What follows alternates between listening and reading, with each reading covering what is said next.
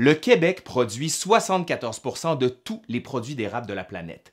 90% de la production canadienne est, ben oui, vous l'avez deviné, québécoise. Ben là, le, Québec, c'est le sirop.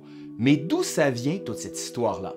Aujourd'hui, à l'Histoire nous le dira, le sirop d'érable, parce qu'on n'est jamais de trop pour aller au sirop. Non, c'est pas ça, je chante faux, hein? Ouais, c'est affreux.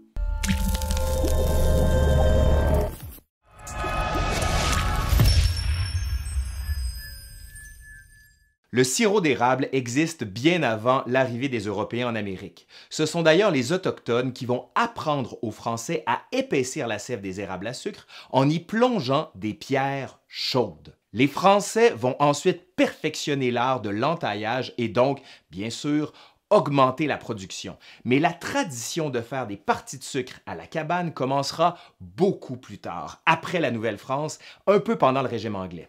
Ce n'est seulement que vers 1820 que les Canadiens français, tannés de perdre trop de chaleur en faisant bouillir la sève à l'extérieur, décident de produire le sirop dans de petits abris de bois, hein? une vraie cabane au Canada.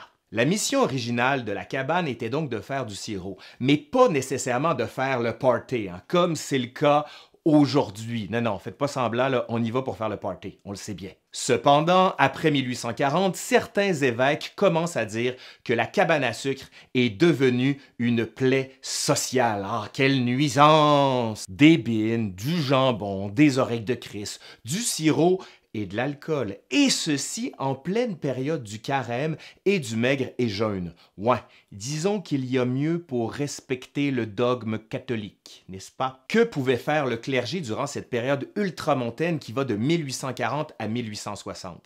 Interdire les parties de sucre? Ben non, hein? On va donc superviser ces manifestations avec des prières, des images et des bénédictions de cabane.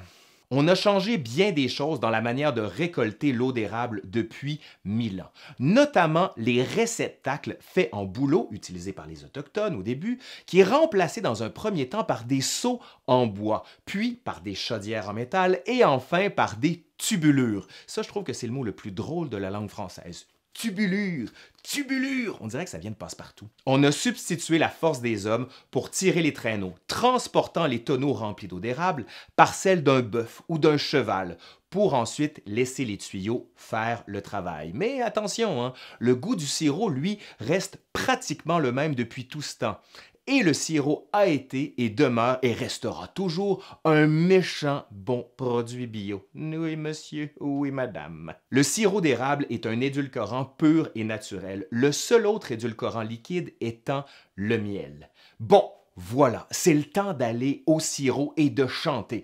Mais pas moi, hein. j'ai une voix affreuse et je chante faux, hein, désolé. Merci à Simon Jolivet qui a contribué à cette capsule et qui a écrit un livre magnifique sur la présence des Irlandais au Québec. À lire absolument. Allez, je suis Laurent Turcot de l'Histoire nous le dira et je vous le dis, c'est le temps d'aller au sirop. Est-ce qu'on fait la liaison, on la fait pas ro ou o? Moi, je sais plus.